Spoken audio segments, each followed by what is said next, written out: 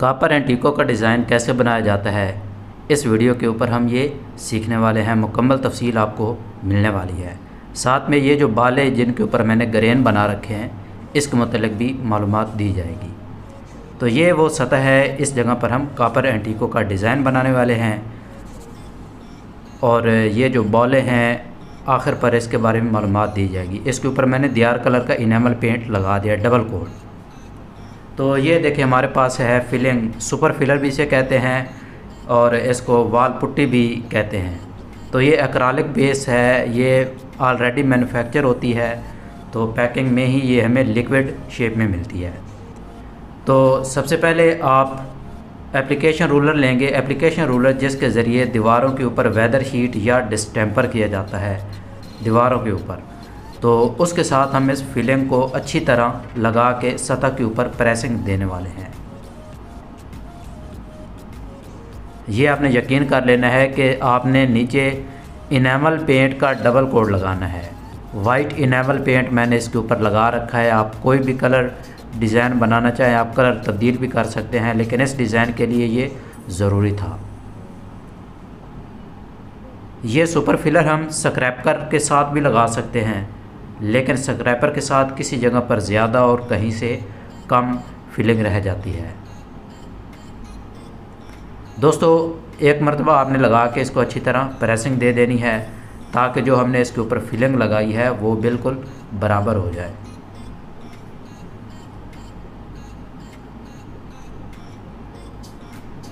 आमतौर पर super filler लगाने के लिए हम सपंच रोलर इस्तेमाल करते हैं, सपंच रोलर ख़राब हो सकता है। तो ये आप देख सकते हैं, हमारे पास स्क्रैपर हैं।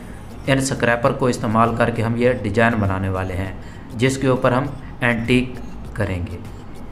तो ये देखिए, जो हमने माल लगा रखा है, बस उसको यानी कि उठा के उसको अप डाउन कर देना होता है। यानी कि इसको रेंडमली फैला देना होता है। यानी कि ये किसी जगह से कम हो जाता है, किसी जगह से इसकी दबावत जो है वो ज़्यादा हो जाती है।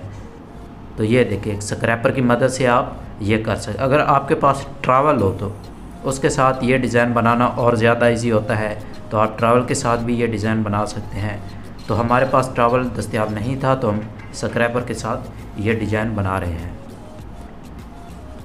ये देखिए, जहाँ पर अगर फीलिंग आपको महसूस हो कि बिल्कुल कम लगी है सतह के ऊपर तो आप स्क्रैपर के ऊपर थोड़ी सी फिलिंग उठा के वहाँ पर लगा दें और जगह को पिछली वाली जगह के बराबर कर दें।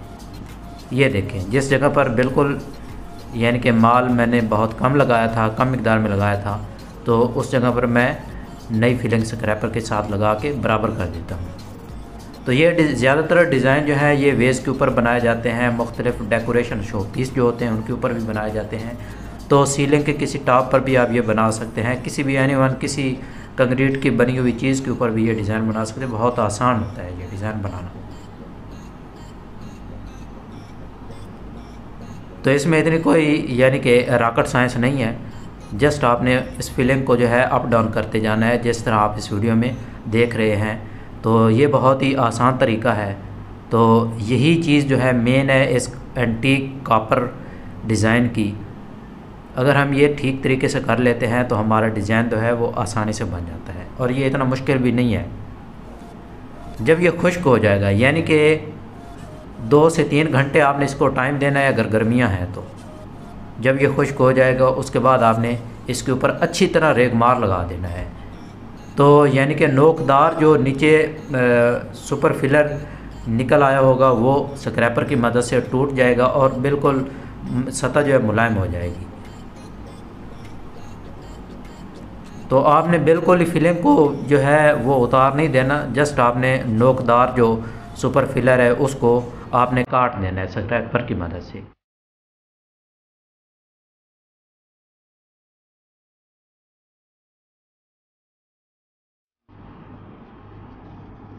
ये देखिए, जहाँ पर ये नोकदार सुपर फिलर है, उसको मैं उतार रहा हूँ। स्क्रैपर की आप स्क्रैपर की मदद से भी उतार सकते हैं। और रेगमार की मदद से भी। रेगमार से उतारने का फ़ायदा होता है कि जब हम बाद में एंटीक लगाते हैं एंटीक हम फोम के साथ लगा रहे होते हैं तो अगर नीचे से नोकदार सतह नहीं होगी तो हमारा फोम जो है, वो महफूज रहता है, वो कटता नहीं है और एकदम बराबर यानी कि एंटीक बना के ले आता है। ये देखें, जो नोकदार सुपरफिलर था, वो हमने काट दिया है।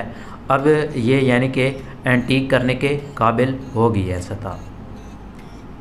तो इसके लिए ये देखें डार्क ब्राउन इनेमल पेंट है, इसको मिट्टी के तेल में मिक्स किया जाता है या पेट्रोल में भी आप मिक्स करके इसको सतह के ऊपर अप्लाई कर सकते हैं।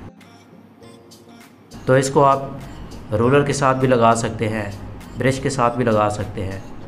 और इस पेंट में हमने मिट्टी के तेल या पेट्रोल की कितनी मकदार रखनी होती है, ये डब्बे के ऊपर आपको यानी कि मिल जाता है कि इसकी कितनी मकदार होती है। आम तौर पर यानी कि जो है इसकी मकदार, वो पेंट से हम आधी मकदार जो है मिट्टी का तेल इस्तेमाल करते हैं तो ये बड़ा ठीक तरह काम करता है। अगर हम पेंट के बराबर या उससे ज़्यादा मिट्टी का तेल डालेंगे तो वो यानी कि ज़्यादा उसमें रवानगी आ जाती है और काम उससे करना थोड़ा मुश्किल हो जाता है। ये देखें, आपने अच्छी तरह सतह को भर देना है। इस पेंट से और फिर आपने एक कपड़े की मदद से, फोम की मदद से भी उतार सकते हैं, कपड़े की मदद से भी आपने ऊपर से पेंट साफ़ कर देना है। और जो जगह गहरी होगी, वहाँ पर पेंट जो है वो बाकी रह जाएगा और जो सतह जो है बाहर की तरफ़ होगी, जो हमने स्क्रैपर की मदद से उसे रैंडमली आगे पीछे ऊपर नीचे कर रखा है, वहाँ से पेंट जो है उतर जाएगा ऊँची जगह से। तो अभी हमारा जो है, ये मुकम्मल नहीं हुआ। इसके ऊपर हम कापर एंटीक बाद में लगाएँगे, जब हमारा ये प्रोसेस मुकम्मल हो जाएगा पेंट लगा के इसको साफ़ करने का।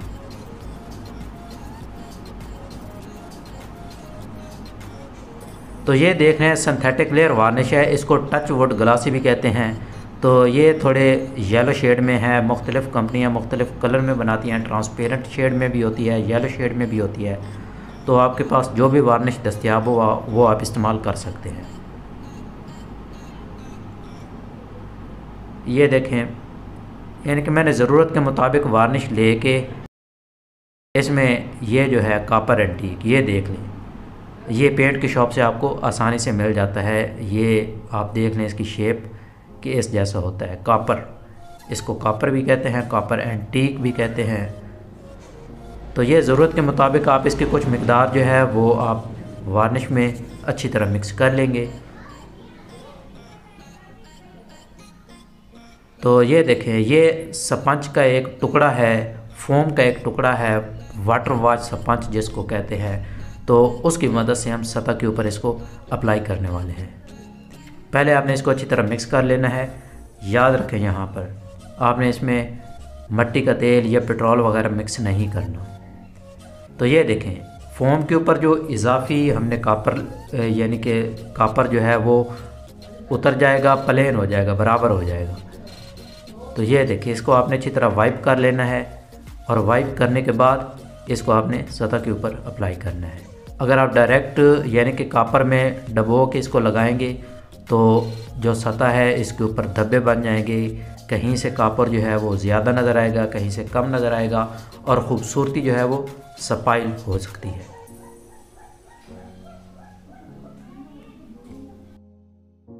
तो ये काम आपने थोड़ा एहतियात से करना है। आपने बिल्कुल नरम हाथों ये प्रोसेस जो है मुकम्मल करना है।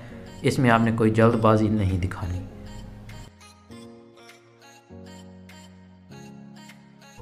तो ये देखें, जो हमने पहले पेंट लगाया है, वो हमने खुश्क होने दिया है। खुश्क होने के बाद अब हम उसके ऊपर ये कापर एंटीक लगा रहे हैं। बहुत ही आसान तरीका है। जो दोस्त नए हैं, पहली मरतबा इस चैनल पर वीडियो को देख रहे हैं, उनसे गुजारिश है कि वो चैनल को सब्सक्राइब कर दें और साथ ही बेल आइकन को आपने क्लिक कर देना है ताकि हम जो भी वीडियो बनाएँ, उन तक बसानी पहुँच सके। तो ये बिल्कुल स्लाइड दी आपने बिल्कुल नरम नॉर्मल हाथों आपने इसको अप्लाई करना होता है। आपने इसको दबाना भी नहीं है।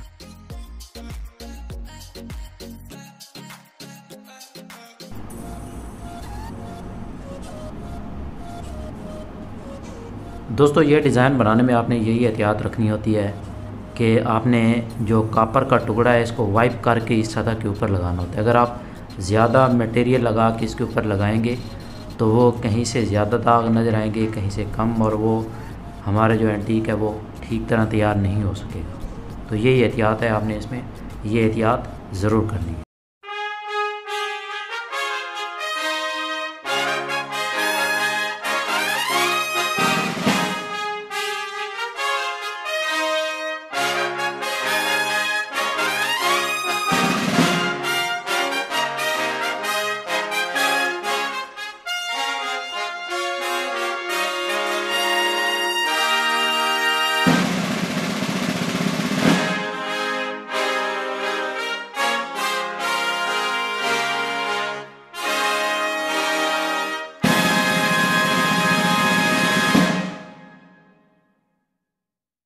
गया है। अब ये बालें हैं, इनके ऊपर हम ग्रेन बना रहे हैं, ग्रेन डाई को इस्तेमाल करके। तो इसके नीचे मैंने दियार कलर का इनेमल पेंट लगाया है, बीज कलर भी इसको कहते हैं। तो उसके ऊपर मैं पेंट लगा रहा हूँ। जो डार्क ब्राउन पेंट होता है, वो मैं इसके ऊपर एक मलमल के कपड़े से लगा रहा हूँ। ये देखें, उसको मैं प्रेसिंग दे रहा हूँ। तो ये बिल्कुल यानी कि लकड़ी की तरह नज़र आ रहा है। तो मैं इसके ऊपर ग्रेन डाई को इस्तेमाल करके इसके ऊपर ग्रेन बनाने वाला हूँ। ग्रैंड डाई आपको पेंट की शॉप से इजीली मिल जाती है। पेंट की किसी भी शॉप पर सेल की जाती है। अगर आपको ना मिले तो आप डिमांड करके मंगवा सकते हैं। ये देखें, इस तरह इसके साथ ये ग्रेन बनाया जाता है। उसको आप सतह के ऊपर लगा के घुमा देते हैं थोड़ा सा, खींच के तो ग्रेन जो है वो आसानी से बन जाता है। तो ये देखें, ये ग्रेन जो है यहाँ से थोड़ा गलत हो गया था। तो पिछले ग्रेन जैसा मैंने ग्रेन बनाना है, बिल्कुल उसके अपोजिट सिमत में। तो ये देखिए अब बिल्कुल ठीक हो गया। अब ये हमारे पास है डिस्टेम्पर का ब्रश है स्पेयर तो इसके साथ हम बड़े नॉर्मल नरम हाथों इसके ऊपर प्रेसिंग देंगे, ताकि जो हमने ग्रेन बनाया है, एकदम उसमें दियार जैसी खूबसूरती यानी कि शामिल हो जाए। अगर आप ये ना भी लगाएँ तो भी चल जाएगा, लेकिन ये उसकी लुक में थोड़ी और ख़ूबसूरती बढ़ा देता है। यानी कि जो दाग धब्बे होते हैं, वो एकदम सतह के ऊपर मदमल हो जाते हैं, मदम हो जाते हैं। और ये डिज़ाइन देखें, हमारा डिज़ाइन जो है, वो तैयार होकर सामने आ गया है, कापर एंड टी का भी और वुड ग्रेनिंग का भी। ये देखें दोस्तों, कितना खूबसूरत तरीके से हमने ये काम मुकम्मल कर लिया है। तो बहुत ही बढ़िया सीलिंग जो है, उसका डिज़ाइन बना है। मैं अपने चैनल पर जो बेडरूम की सीलिंग्स होती हैं, कमरों की सीलिंग होती है, उसके ऊपर किस तरह डिज़ाइन बनाए जाते हैं, तमाम वीडियो आपको इस चैनल पर मिल सकती हैं। आप चैनल को ओपन करके देखें, आपको अच्छी तरह एजुकेट भी किया जाता है और डिज़ाइन भी बनाए जाते हैं। उम्मीद करता हूँ आपको ये वीडियो अच्छी लगी होगी। वीडियो अच्छी लगने पर लाइक कर देना, हमारे चैनल को आपने सब्सक्राइब कर देना है। अगली वीडियो में मिलते हैं, तब तक के लिए गुड बाय